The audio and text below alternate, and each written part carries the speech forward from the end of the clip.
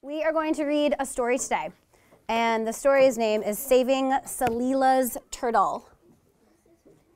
And this story takes place in India. Who knows something about India?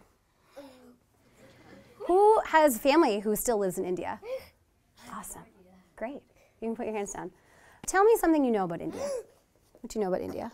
The national flower is lo- the lotus. Ooh, any other Me Too's? Amsika, what do you know about India? It is extremely hot. It's wicked hot. Is it hot all the time? Yeah. Yeah. What else do we know about India? Sai? Um, that there's no fall, there's only rainy season. So, a lot of you know about India. So, let's talk about drinking water. Where does our drinking water come from? Where do you think? Marina? Fresh water. Comes from fresh water, okay. And how do we know that the water that we're drinking is safe?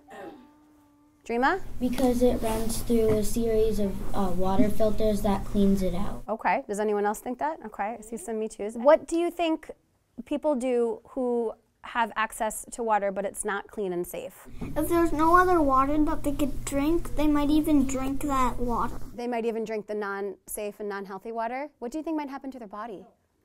They'll start to get really sick and probably die. Okay, so they might get really sick and maybe some people will, will pass away. Hopefully that wouldn't happen, but you, you might be right. Um, so we know that there is water all over the world, and we know it's a very little amount of water that is, that is fresh water that we can drink. Raise your hand if you've ever seen something that's polluted. It's a lot of hands. All right, so we're going to start reading this book. And um, in your folders, I want you to take out your first page called Pollution and Solutions. As we go through this book, I want you to listen to the story I'm going to read you. I want you to look at the pictures. And when you hear an example of pollution, I want you to raise your hand. Chapter 1 A Rainy Day Discovery. Rain clouds hung dark overhead as father and I walked home along the banks of the Ganga Ma, Mother Ganges. Come on, Salila, let's hurry, father said. I turned back to take one last look at the river. In that moment, something caught my eye. Wait, father, look! I cried as I pointed. What is it? father asked, scanning the bank of the river. I reached down and picked up a small kachua, a turtle that was climbing out of the water. The water was covered with oil that created slick, shimmering rainbows. Ooh, what happened? Max, what'd you hear?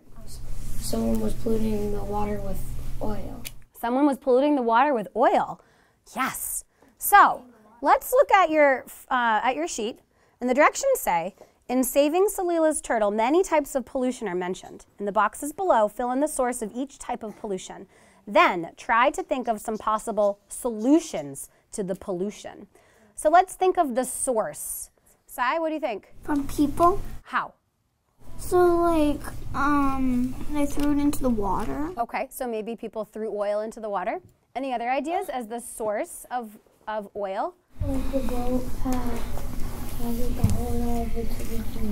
So maybe a boat in the river that has oil that's maybe leaking out of the boat. So we have people as an idea. We have a boat that's leaking oil into the river as an idea. I'm going to take one more idea. Maybe someone threw a can that was full of oil and then the can, like, slipped open. Maybe someone threw a can full of oil inside and it maybe spilled open. Go ahead. All right, so in your groups, I would like you to choose one source of the, um, the oil pollution that you think makes the most sense. Do you think that it came from an oil can that someone threw into the river? Do you think that it maybe came from a boat engine? Do you think that it just came from people? A boat would, can't fit in the Ganges. All right. Yeah, yeah. Yeah, but not like one of those cruise ships that are so big. The Ganges isn't big enough to fit one of those in it. But then how would we get across water? All right, I'm going to move on in our story. I can't leave the turtle here, I cried. The water is so dirty. Won't it make the turtle sick? People use the Ganges for lots of things, I said. I see boats traveling on the river, people cleaning their clothes in the river, and even people taking baths in the river with soap. There's that factory across the river that sends smoke into the air. Oh, I see some hands. Good. What happened? Uh, Thomas? The smoke goes into the air. The smoke goes into the air. Is that a pollution? Yes. All right. So let's see if you guys can do this by yourselves right now without me leading you through this. Remember, we want to think about the source of the smoke. So what do they also mentioned soap. They did. They mentioned the soap. So go ahead and do the soap. What is it right? Stop the factory? Move, the factory wouldn't make any sense. Move the factory? They could design an engine that doesn't smoke. Oh, okay. When I got home, Father helped me set up a few different filters. We decided to test the mosquito netting first. Ready, set, pour, I called. I layered sand between fabric and cheesecloth. I tried running water through pebbles and cotton. Then I drew a plan and created my water filter design. I know I can't do it all by myself, but that's okay. Together we can make a big difference in reducing pollution. The Ganges can be cleaner for the animals and the people that depend on it. So, in the book, we learned about one, two, three, four, five different steps that Salila did in order to solve the problem of how she could get her kachua and make sure that the kachua was nice and healthy. What was the first thing that Salila did? Sai, what did she do? Ask questions. She asked questions. She did. Who did she ask them to? Do you remember that? She asked them to the people at her mom's work. Yep. She asked questions to her, the people at her mom's work. She asked some questions to her mom. She asked some questions to her mom and to her dad, right? Good. So Catherine wrote up one idea. She talked to, Salila talked to her mom and her dad, and she asked questions of them. And she also talked to some of her mom's coworkers, and she asked questions of them. What was the next step that she did? Ayor?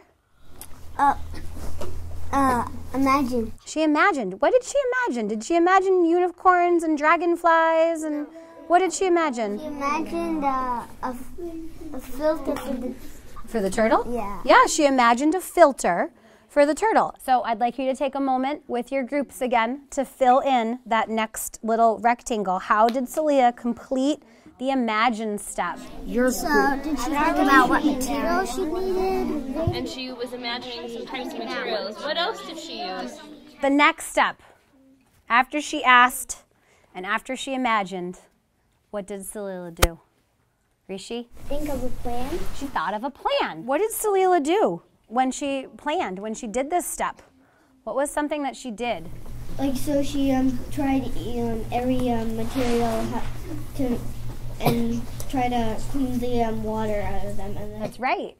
So after she tested them one by one, she put them together, right? And did she decide um, which ones she liked the best and which ones she should use? All right, so go ahead and take a moment with your group and write, decide what you want to write down for this step. How did she complete the plan step? All right. After Salila asked questions, then she imagined what would, it would look like, and then she made this beautiful plan after she decided what materials would work and what wouldn't work. What did she do next? She created a filter. Oh, she created a water filter. Interesting. After she created her water filter, what did she do? Ah, she tested it. Great. Can you guys chat with your group members and decide what you're going to write down here? So she wanted to make, make a water filter. Did two here, then you put one in the middle. So does it have to go in a uh, certain order? Yeah, so that's important to follow the plans that she had made. Salila has asked, she's imagined, she's planned, she's created, and now she's going to improve. How did Salila do this step? Can you guys decide on a group as to what you're going to write down, please? Last time. I didn't write one. All right, so we have completed the engineering design process. Hi, I'm Catherine Wilkins. I'm Megan Duffy. We work at Keystone Montessori School here in North Chelmsford, Massachusetts. In lesson one, I think the benefit of having the storybook for our students is to give them an impression that this is a problem that is way beyond North Chelmsford, Massachusetts. So this is a problem that's happening in India. I really enjoyed how um, the book was used throughout every lesson, all four lessons, and that the kids were able to fall back on the main character and give very concrete examples as to you know what Salila did to solve her problem.